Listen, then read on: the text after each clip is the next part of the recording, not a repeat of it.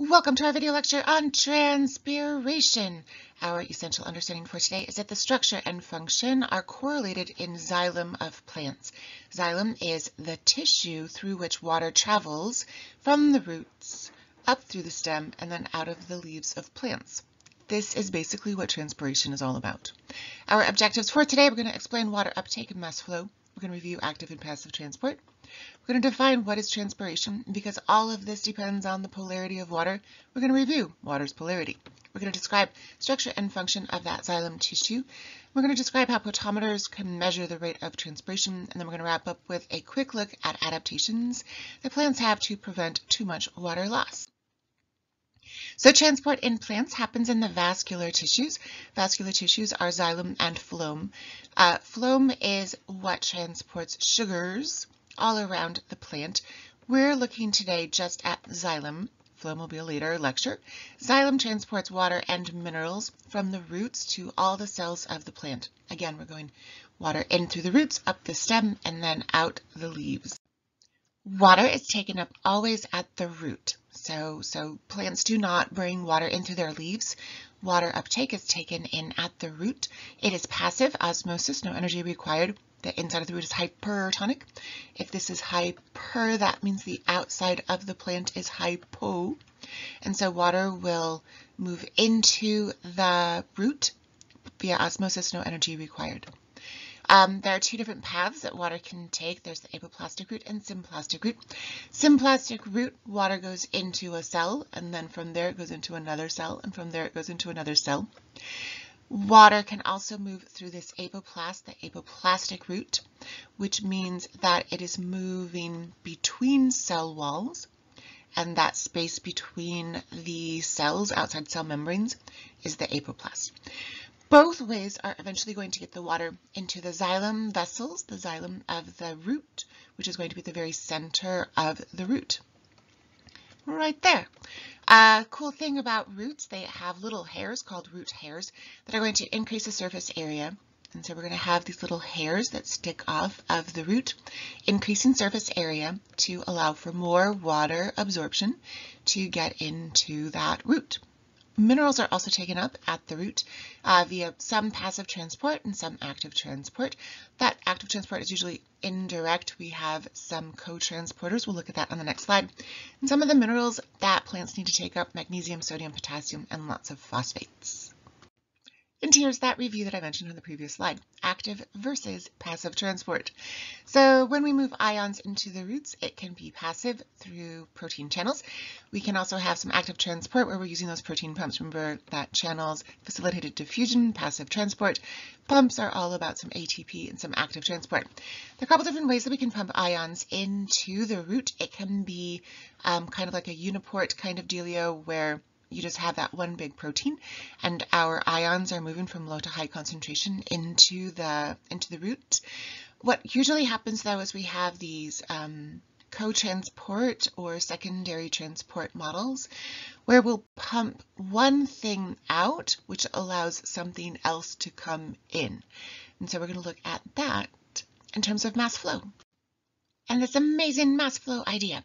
So we take up that uh, water and those minerals in at the root. We've got those branching root hairs to make this happen. But what's interesting about most of these ions that the plant wants to take in is they're positively charged. And dirt, interestingly, is negatively charged. And so there's a force of attraction between those. It's really hard for the plant to pull these guys away. And so what the plant does is it pumps out some protons. We've got these proton pumps all over the place. So hydrogen ions, protons are going to get pumped out of the root. These guys are going to be attracted to that negative dirt, which is going to displace that hydrogen is literally knocking that calcium out of the way, and that frees up that calcium to move into the root hair. Once we move that calcium in, we now have a hypertonic um, environment inside the root, which means water will follow. Here's the cool thing. The water is polar. So when this water molecule moves in, there's this little magnetic pull. The next water molecule gets pulled in, which pulls in the next water molecule, which pulls in the next water molecule. And so water will flow toward the root so the root can uptake those water molecules. And just a quick look at uh, osmosis. Remember that osmosis is the movement of water across the membrane. We're going to go from where there is a low concentration of the solute particles. So the water is going to move from where there's a low concentration of the solute particles. Solute could be something like salt or sugar or we're looking at those calcium ions on the previous slide. So the water will move from where there's fewer solute particles to where there's more solute particles, moving across that membrane, that semi-permeable membrane, moving from where we have low solute to high solute concentrations. And all of this happens because water is polar.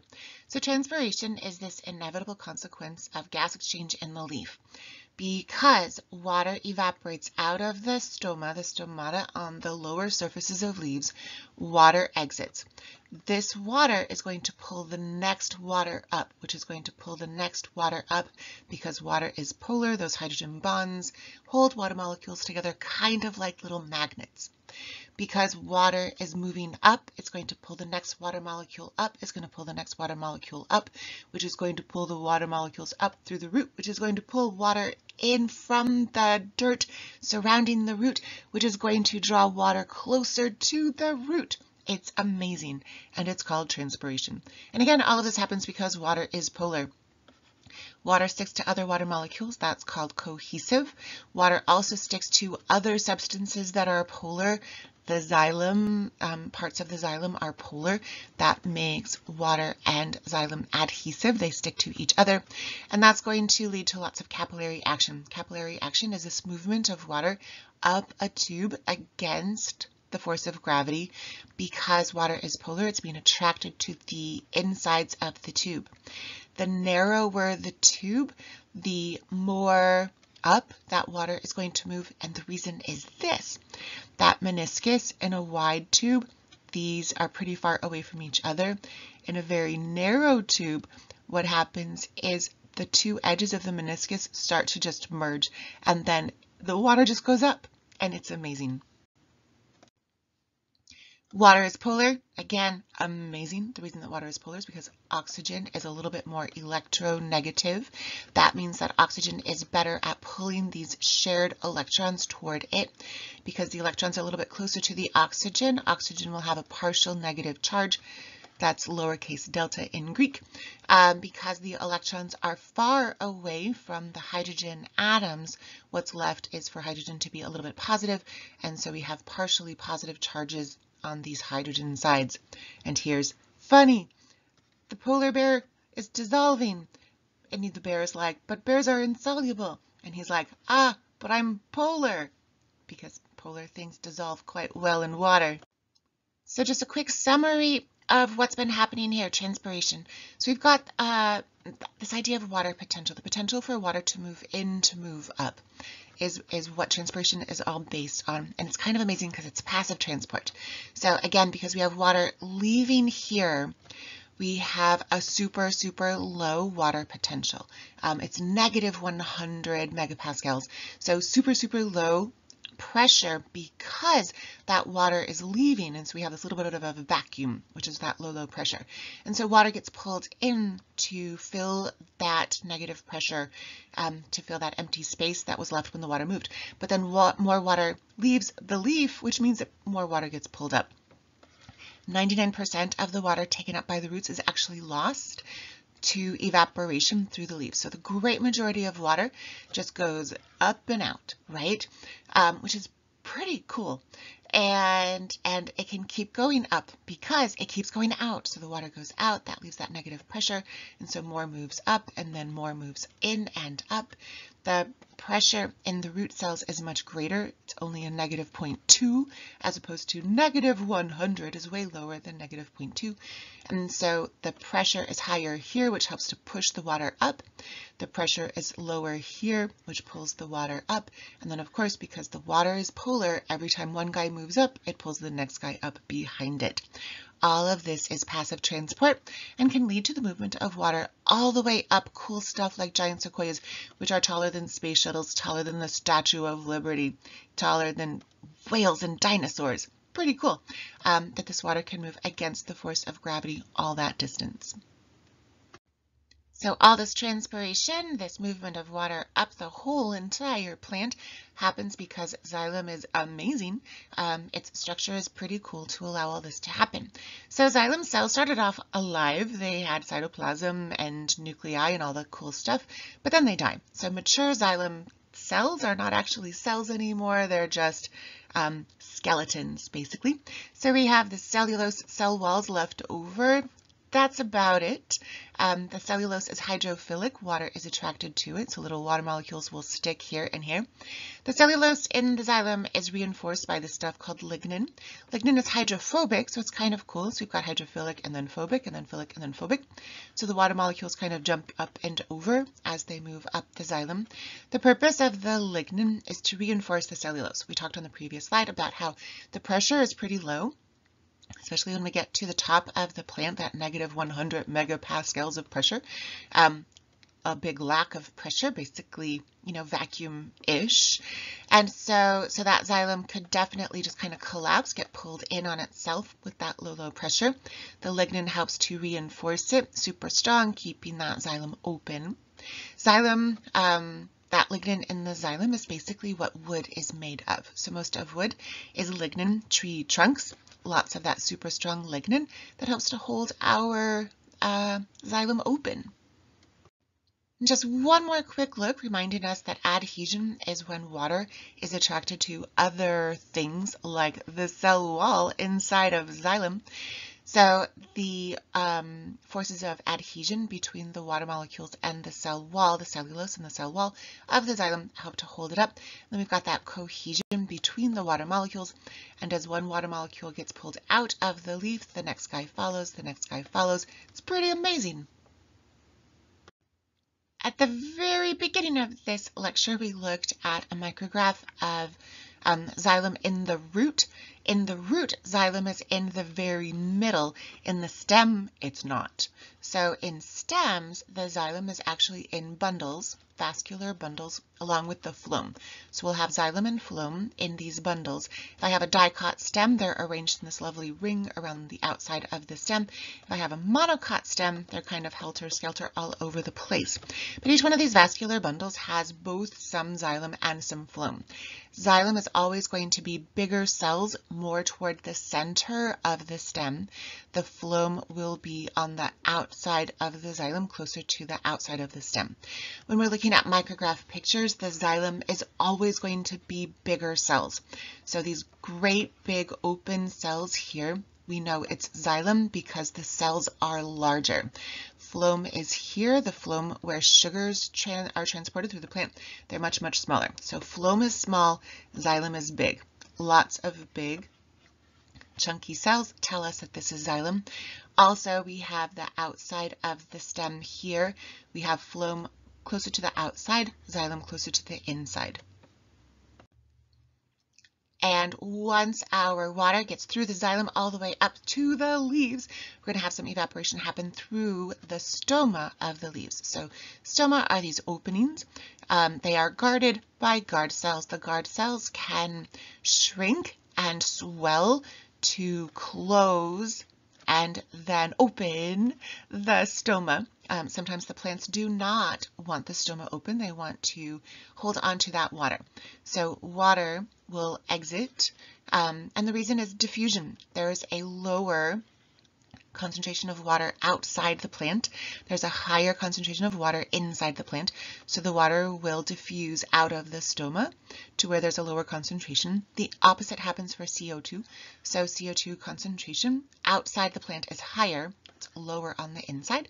So again, the CO2 will diffuse into the cell through the stoma um, when those guard cells are open. Potometers are these super cool things that help us measure um, the rate of transpiration. We have a couple different ways that we can build them. So here we have tube, we have stem, we have uh, started with lots of water to get this guy to be full, full, full. And then we clamp that off. So I have full, full, full, no air bubbles in here. And then we're going to uh, do something so that the plant starts to do transpiration. So we either shine some light on it or we blow wind at it, we warm it up a little bit, and water is going to move up the tube and out of the leaf. We can measure how much water is moving up the tube and out of the leaves because now we have this pipette that is graduated and we can watch this water level go down and the rate at which this water level is going down is equal to the rate at which the water is leaving the leaf. So this is one way that we can measure transpiration. Another kind of potometer, we actually add a layer of oil and then we put the plant stem under the oil. The oil helps to prevent just the evaporation of water outside of this um, flask. Instead, all of the loss of water from this reservoir is going to be from the leaves. And so transpiration will happen outside the leaves because water will move up and out.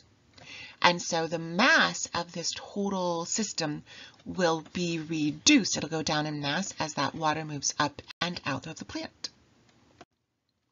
Some plants uh, do not want to lose bunches of water. They might live in environments where water loss is a problem. Um, xerophytes are the kinds of plants that tend to live in very arid or dry habitats. Some of the adaptations that plants have, um, they might have a very thick cuticle. So this is aloe. Cuticle, remember, is on the leaf. It's that waxy layer that helps to prevent some water loss. And you can see through the light this incredibly thick layer of waxy cuticle on this aloe plant. Some plants will have spines instead of leaves. So on a cactus, the spines are actually modified leaves. They do photosynthesis on their stem instead. Um, usually leaves are big and broad to collect lots and lots of sunshine. Cactus really doesn't need to worry about collecting lots of sunshine. There's plenty. And so photosynthesis happens on their stem instead of in the leaves. The leaves are modified to protect the water that is stored in the cactus from animals. Sometimes we have these crazy, crazy deep stomata. Remember that stomata are those holes in the leaves through which CO2 can move in and water can move out. And so this stuff, this beach grass, it actually, the leaves curl around. So this is a leaf that's curled around, so the leaves curl. And then our um, stomata are actually going to be deep, deep down in here. And so the stomata are in these little like lagoons that are formed on the inside of the curl of the leaf. And so the water can actually, the water vapor can get trapped in here. And so the plant can actually build these tiny little pockets of humidity. And the higher the humidity, the higher the concentration of water outside the plant, the more slowly the water is going to leave the plant. Other adaptations to combat water loss and this idea of photorespiration. So photorespiration sounds amazing, but it's actually really bad for plants. So what happens in photorespiration is um, because there's a lack of CO2, Rubisco will, instead of binding CO2 and RUBP, it'll start binding its RUBP to oxygen gas. Um, and then it's going to start making um, ammonia and CO2, and, and this is bad. Like, this is a bad thing for plants.